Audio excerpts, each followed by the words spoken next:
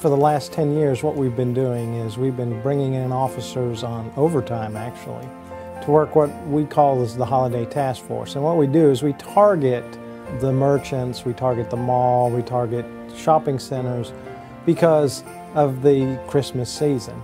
You know, there's a lot of people out there, there's a lot of, a lot of shopping, and our goal was to reduce crime. And over the last several years, we've seen some reductions in crime in those areas during the Christmas season.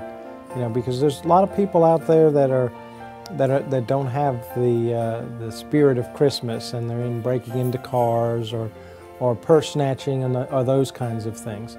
The presence of the officers has deterred a lot of that stuff from happening over the last several years. A lot of them are volunteers to work the overtime. It helps them out as well. And we work the different shopping centers, um, two-man units, sometimes three-man units, some undercover units, bike patrol units, basically to make our presence known and try to deter any crime that occurs. And obviously, if crime does occur, we're right there to, to address it right on the spot. We work in two-man units most of the time on bike patrol, as many as five officers at a time. And as two-man units, we strategically target specific areas um, that need high visibility patrol as evident by the color of my shirt. I get in better shape, I'm out in the sun, I get to say hi to the people. I, you interact with the people a whole lot more than being enclosed in the patrol car. You know, it's, you know, you're kind of in this box in the patrol car. When you're on the bike, people come up to you and talk to you a lot, a lot more often. They, for some reason, their perception of you as a police officer on a bicycle is different than it is in a car. They're riding, they're on bicycles, they are, they are in parking lots, they're in plain clothes. There's a variety of different techniques that we use in order to make it safe.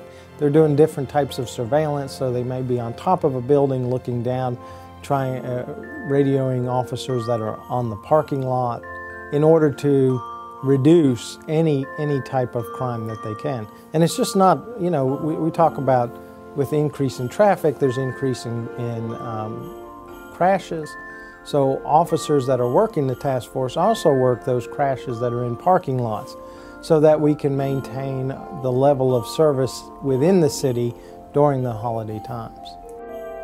A lot of times uh, people will call in, citizens will call in and whatnot. Uh, mall security will call in when they've watched some stuff on surveillance. Loss prevention calls us all the time and we work together with them, you know, in our online reporting and things of that nature in order to facilitate what we need to do and apprehend the suspects. A lot of times it's that and surveillance teams out in the parking lots and things like that. A lot of the shoplifting ends up just being what it is.